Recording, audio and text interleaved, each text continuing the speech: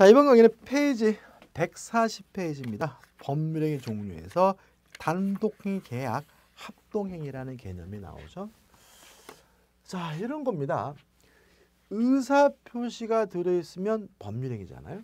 그러면 의사표시가 하나가 있는 것도 법률행위고 의사표시가 두 개 있는 것도 법률행위죠. 만약에 의사표시 하나만으로 성립한다면 그런 것을 우리가 단독행위라고 하고요. 의사표시가 두 개 있어야 성립하는 것을 우리가 계약이라고 하거든요. 무슨 말이냐? 갑이 을에게요. 일정한 의사를 표시했어요. 하나죠. 요것만으로 성립한다면 이게 뭐죠? 단독행위고요. 을이 갑에게 두 번째 의사를 표시해야 성립한다면 두 개죠. 이게 뭐죠? 계약이에요.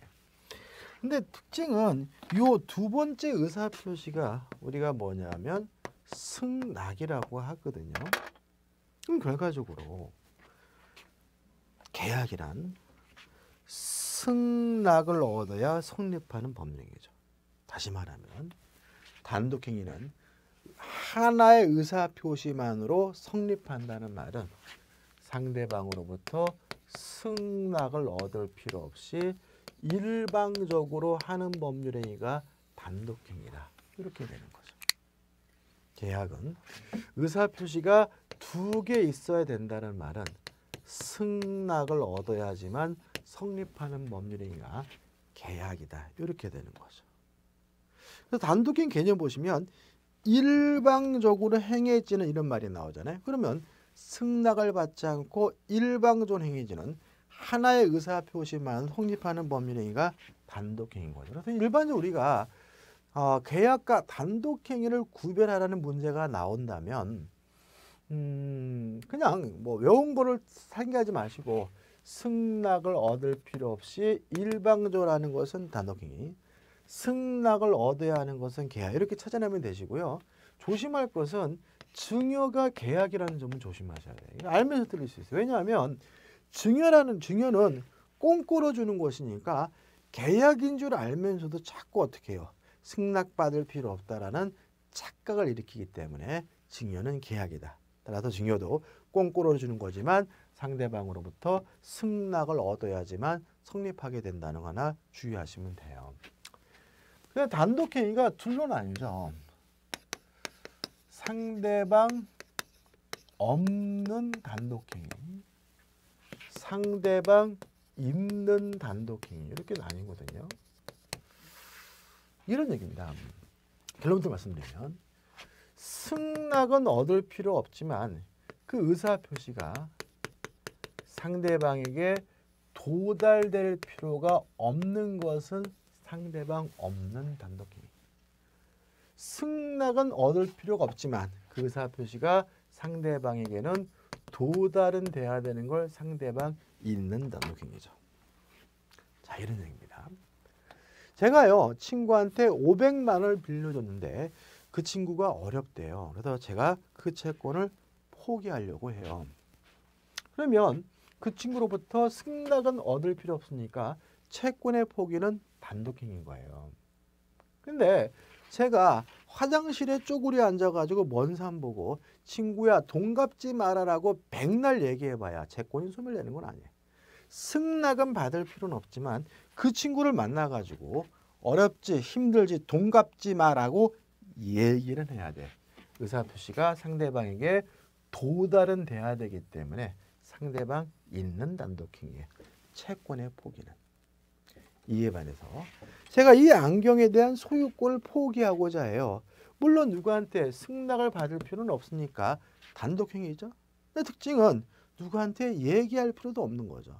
그냥 쓰레기통에 갖다 버리면 그만인 거잖아요. 따라서 소유권의 포기는 얘기할 필요 없다. 상대방 없는 단독행위가 되는 거죠. 교재 예들이 많이 나와 있는데 일단 여러분들이 반드시 기억해야 될 것은 상대방 없는 단독행위여서 소유권, 점유권의 포기는 상대방 없는 단독행위다. 기억해 두시면 되고 상대방 있는 단독 행위에서 소유권, 점유권 이외의 권리를 포기하는 것은 상대방 있는 단독 행위다. 요즘 나와 있는 애들도 중요한데 그거는 개념을 알게 되면 그것이 단독 행위라는 것을 알게 되니까 외우려고 하지 마시고 좀 암기해야 될 사항은 이두 가지인 거예요. 동의하시나요, 여러분들? 제가요, 음, 임차권을 가지고 있어요. 임차권을 포기하고자 할 때 집주인한테 승낙은 받을 필요는 없지만 집주인에게 포기하겠다고 얘기는 해야 돼요. 임차권의 포기는 상대방이 있는 단독행위. 제가요 저당권을 가지고 있거든요. 저당권을 포기하고자 할 때 채무자로부터 승낙은 받을 필요 없지만 채무자에게 저당권 포기하겠다라고 얘기는 해야 돼요. 상대방 있는 단독행위죠. 제가요 어, 지상권을 포기하고자 해요. 지상권을 포기하고자 할 때 토지 소유자한테 승낙은 받을 필요 없지만 토지 소유자에게 나 지상권 포기하겠다라고 얘기는 해야 돼요. 다시 말하면 지상권, 용익물권, 저당권, 담보물권, 임차권과 같은 채권 합치면 어떻게 돼요? 소유권, 점유권, 이배원리. 꼭 맞는 말은 아닙니다. 규제 안 적어놨던데. 그러니까 수험적으로는 소유권, 점유권의 포기는 상대방 없는 단독행위고 소유권, 점유권 이외의 권리를 포기하는 것은 상대방 있는 단독행위다. 이 두 정도 기억해 두시기 바라고요. 그 다음에 어, 재단법인 설립행위는 설립행위 뭐가 되죠? 상대방 없는 단독행위다. 자 기억나시나요? 자 재단법인이라는 것은 재산의 집합에다가 법인격을 부여하는 것이 재단법인이고 재산이 없는 재단법인은 존재할 수가 없으니까 재단법인 설립행위는 상대방이 없는 거니까 상대방 없는 단독행위인 거죠. 그 다음에 어, 상대방 있는 단독행위에서 수권행위 좀 조심하셔야 돼요. 대리권을 주는 수권행위를 우리 판례는 단독행위라고 이해하고요. 특히 상대방 있는 단독행위하고 왜 수권행위가 단독행위인지 이유는 대리에서 설명드릴 거고요. 이 정도는 좀 기억해 두시기 바랍니다. 그 다음에요. 단독행위는 자유롭게 못해요. 계약은 자유롭게 할 수 있어요. 왜요? 어차피 계약은 상대방으로부터 승낙을 얻어서 하는 것이니까 나쁜 짓만 아니면 뭐든지 할 수 있다. 이거 우리가 계약 자유의 원칙이라고 하는 거죠. 근데 단독행위는 승낙을 받지 않고 일방적으로 하는 것이니까 자유롭게 못해요. 법에 규정되어 있는 경우에만 할 수가 있는데 이걸 우리가 단독행위 법정주의라고 해요. 또 계약은 자유롭게 조건도 붙일 수 있고 기한도 붙일 수가 있어요. 왜요? 어차피 상대방으로부터 승낙을 얻어서 하는 거니까요. 단독행위는 원칙적으로 조건도 붙일 수 없고 기한도 붙일 수 없어요. 왜요? 단독행위는 승낙을 받지 않고 일방적으로 하는 것이니까. 실제로 우리가 앞으로 단독행위라는 개념이 참 많이 등장하게 되는데 가장 중요한 것은 뭐예요? 단독행위는 승낙을 받지 않고 일방적으로 한다는 점에서 특색이 있다는 거죠. 그 다음 141페이지 오시면 합동행위라는 개념이 나오고 있습니다. 자 이런 얘기입니다. 사단법인 설립행위는 의사표시가 여러 개예요. 왜냐하면 사단이라는 것은 사람의 집합에다가 법인격을 부여한 것이니까 사람의 집합이니까 사람이 여러 명이니까 의사표시가 여러 개인 거죠. 근데 계약은 의사표시가 상호 대립적이고 교환적이라는 점에서 사단법인 설립행위 같은 경우에는 그 의사표시가 대립적인 것이 아니라 구심적이다. 하나의 목적을 향해서 나아간다라고 해서 합동행위라는 개념을 인정합니다. 다시 말하면 갑, 을, 병 세 사람이 모여가지고 사단법인을 설립하려고 해요. 그러면 이 사람들의 의사표시는 사단법인을 설립한다는 하나의 목적으로 모여들고 있죠. 그래서 요 사단법인 설립행위는 의사표시가 여러 개 있는데 성관에 대립되는 것이 아니라 하나의 목적에 향해서 나아간다. 구심적이라고 해서 계약과 구별하기 위해서 합동이라는 개념을 인정하는 학설이 있습니다. 우리는 뭐만 기억하시면 되냐면 사단법인 설립행위가 합동행위라는 것만 좀 조심하시면 돼요. 그 다음에 2번 채권행위, 물권행위, 준물권행위에서 채권행위 나오고 넘겨보시면 물권행위, 준물권행위 나오죠. 이걸 좀 까다롭게 생각하시는 분이 계시는데 일단 채권행위라는 개념하고 처분행위라는 개념을 분리하고요. 요 처분행위 속에 물권행위와 준 물권행위가 있다라고 좀 나누시는 게 좋을 것 같아요. 일단 개념은 이렇습니다. 채권을 발생시키는 법률행위를 채권행위라고 해요. 물권을 변동시키는 법률행위, 물권을 발생, 변결, 소멸시키는 법률 행위를 우리가 물권 행위라고 하고요. 준물권 행위라는 거는 뭐냐면 준물권이라는 말은 물권에 준한다는 말은 물권 이외의 권리라는 얘기. 물권 이외의 권리를 변동시키는 것을 물권 이외의 권리를 발생, 변경, 소멸시키는 것을 우리가 준물권 행위라고 해요. 자, 채권을 발생시키는 행위는 채권행위, 물권을 변동시키는 법률행위는 물권행위, 물권이 권리를 변동시키는 것은 준물권행위인데 물권행위와 준물권 합쳐서 우리가 뭐죠? 처분행위라고 하는 거죠. 생각해 보세요. 갑이라는 사람이 A라는 건물을 가지고 있는데 을과 만나서 매매 계약을 했습니다. 자, 매매 계약을 하면 갑은 을에게 매매 대금을 달라고 요구할 수 있는 채권을 갖게 되고요. 을은 갑에게 재산권을 이전해 달라고 요구할 수 있는 채권을 갖게 되는 거죠.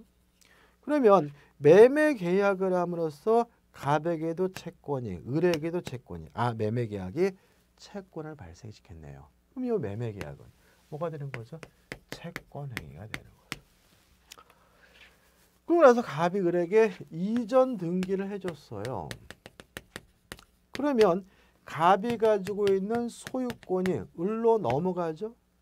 물권이 변동되는 거죠. 따라서 이전 등기를 해주는 것은 물권 행위가 되는 거죠. 자, 갑과 을이 만나가지고요. 예를 들어서 저당권을 설정해주기로 계약을 했어요. 그러면 저당권을 설정해달라 요구할 수 있는 채권이 생기니까 저당권 설정 계약은 채권이겠죠. 그 계약에 의해서 저당권 설정 등기를 했어요. 그러면 채권자에게 뭐가 생깁니까?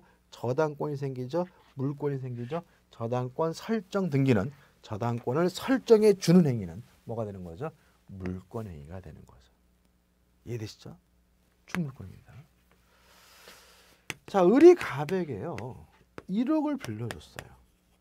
그러면 1억을 빌려주게 되면 은행 갑에게 1억을 달라 요구할 수 있는 뭘 갖게 됩니까? 채권을 갖게 되는 거죠. 그러면 어, 1억을 빌려준 행위는 채권을 발생시켰으니까 뭐가 되는 거죠? 채권 행위가 되는 거죠. 근데 을이 이 채권을 병에게 양도를 했어요. 그러면 을에서 병으로 채권이 넘어가죠. 채권이 변동되잖아요. 근데 채권은 물권이 아니니까 물권 이해에 걸리니까 뭐가 되는 거죠? 준물권인 거죠. 따라서 채권을 양도하는 것은 뭐가 되는 거죠? 준물권행위가 된다. 간단히 말씀드리면 채권을 발생시키는 행위는 채권행위, 물권을 변동시키는 법률행위는 물권행위, 물권 이외의 권리를 변동시키는 법률행위는 준물권행위고요. 아 조심할 것은 뭐냐면 요 매매 이전 등기 관계에 대해서 어디가 물권행위고 어디가 채권행위인지에 대해서는 아, 솔직히 학설의 대립이 있습니다. 뭐 물권적 합의라는 개념을 막 들고 나와요. 근데 학설은 다수설이든 소설이든 맞는 거거든요. 그럼 우리는 그냥 이해하기 쉬운 걸 그냥 선택하면 되는 거예요. 이 부분은. 그래서 매매 계약은 채권행위고 이전 등기해 주는 곳은 뭐예요? 물권행위다. 저당권 설정 계약은 채권행위고 저당권 설정 등기를 해주는 것은 물권행위다. 이렇게 간단하게 이해하시면 될 것 같아요.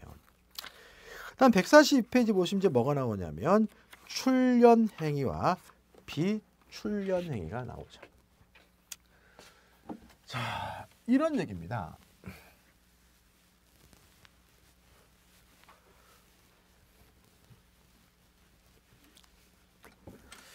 자, 법률행위를 했어요. 법률행위를 했더니 재산의 즈, 증가와 감소가 함께 일어나면 수반되면 이거 우리가 출연행위라고 하고요. 재산의 증가와 감소가 수반되지 않으면 우리가 비출연행위라고 해요. 잠깐 생각해 보죠. 갑이라는 사람이 A 건물을 가지고 있어요. 을과 만나서 매매 계약을 했습니다. 그러면 이 부동산을 기준으로 재산의 증감을 따져보면 이제 앞으로 갑의 재산은 감소가 될 것이고 을의 재산은 증가가 될 테니까 이 매매 계약은 증가와 감소를 함께 일으키죠. 따라서 매매 계약은 출연행위예요. 따라서 매매와 같은 유상행위는 대표적인 출연행위고. 근데 갑이 이 건물 을에게 증여하기로 했어요. 자, 증여하기로 했더라도 갑의 재산은 앞으로 감소가 될 것이고요. 을의 재산은 뭐가 되겠어요? 증가가 되겠죠. 그러면 증여와 같은 무상행위도 증가와 감소를 함께 일으키니까 뭐가 되는 거죠? 수반행위가 되는 거죠. 그래서 일반적으로 유상행위도 출현행위고 무상행위도 출현행위예요. 조심할 것은 비출현행위는 무상 이렇게 연구하시는 분이 있는데 아니다. 재산의 증가와 감소가 함께 일어나는 행위를 우리가 출연행위라고 하니까 증여 같은 무상행위도 출연행위임을 주의하셔야 되겠죠. 그럼 비출연행위는 뭐가 있느냐? 첫째, 대리권의 수요는 비출연행위다. 네가 내 대신 제주도 가서 땅 좀 사라. 이게 대리권의 수요. 물론 네가 내 대신 제주도 가서 땅 좀 사라고 얘기했다 그래서 저의 재산이 증가되는 것도 아니고 당장은 감소되는 것도 아니니까 대리권 수요는 재산의 증가도 없고 감소도 없네요. 비출연행인 거죠. 소유권의 폭입니다. 제가요 이 안경에 대한 소유권을 포기했어요. 그래서 쓰레기통에다 갖다 버렸거든요. 그러면 저의 재산은 감소가 되겠죠. 근데 특징은 제가 이 안경에 대해 안경을 쓰레기통에다 갖다 버렸다 그래서 누구의 재산이 증가되는 것은 아니죠. 자, 출연행위가 되려면 증가 감소가 함께 일어나야 돼요. 소유권의 포기는 감소만 있을 뿐 뭐가 없습니까? 증가가 없기 때문에 뭐로 이해됩니까? 비출연행위로 이해하게 됨을 주의하시기 바랍니다. 그 다음 교재 142페이지에 요식행위, 불요식행위 법률행위가 성립되기 위해서 특별한 방식이나 특별한 방식이나 형식이 요구되는 행위를 우리가 요식행위라고 하고요. 우리 시험범위 안에 있는 것은 법인 설립 행위는 요식행위입니다. 정관 등을 작성해야 되잖아요. 그 외에는 불요식행위. 그래서 민법상 원칙은 불요식행위다. 다시 말하면 민법상 법률행위는 말로 하든 문수로 하든 어떤 방법이 상관이 없는데 아, 법인 설립 행위만은 요식행위다. 5번 주된 행위, 종된 행위. 말 그대로 주된 행위는 주된 행위, 종된 종된 행위입니다. 자, 이런 얘기입니다. 을이 갑에게 1억을 빌려줬어요. 1억을 빌려주면서 플러스 갑소의 A 부동산에다가 저당권을 설정해 주기로 어, 계약을 한 거죠. 그러면 을과 갑은 1억을 빌려주는 계약, 소비대차 계약도 하고 저당권 설정 계약도 하고 두 가지 법률행위란 거죠. 근데요. 돈을 안 빌려줬다면 저당권 설정할 이유가 없는 거죠. 그렇지 않습니까? 돈을 안 빌려줬다면 저당권을 설정할 수가 없는 거죠. 다시 말하면 저당권을 설정하려면 뭐가 해야 돼요? 돈을 빌려줘야 되는 거죠. 그러면 1억을 빌려주는 행위가 주된 행위라면 저당권 설정 행위는 종된 행위인 거죠. 동의하시나요, 여러분들? 그죠? 주된 행위가 있어야 존재할 수 있는 행위를 우리가 종된 행위고 가장 대표적인 얘기를 1억을 돈을 빌려주는 행위가 주된 행위라면 담보 설정 계약은 종된 행위인 거죠. 그 다음에 1억을 빌려주게 되면 을에게 채권이 생기고요. 저당권을 설정해 주게 되면 을에게 뭐가 생기냐면 저당권이 생기죠. 그래서 마찬가지로 채권이 없다면 저당권은 존재할 수가 없어요. 따라서 채권이 주된 권리라면 담보물권인 저당권은 뭐가 되죠? 종된 권리가 되는 거죠. 그 다음에 신탁행위, 비신탁행위라는 개념이 나오는데 아, 중요한 개념도 아니고 여기서는 설명드리기가 좀 어렵습니다. 이거는 제가 뒤에 아, 의사표시, 통정어휘 표시할 때 설명을 드릴게요. 그 다음에 144페이지 제3절 법률의 목적이 나오는데 이 목적부터 음, 다음 강의에서 이어서 들어가도록 하겠습니다. 자 여기까지입니다. 여러분들 고맙습니다.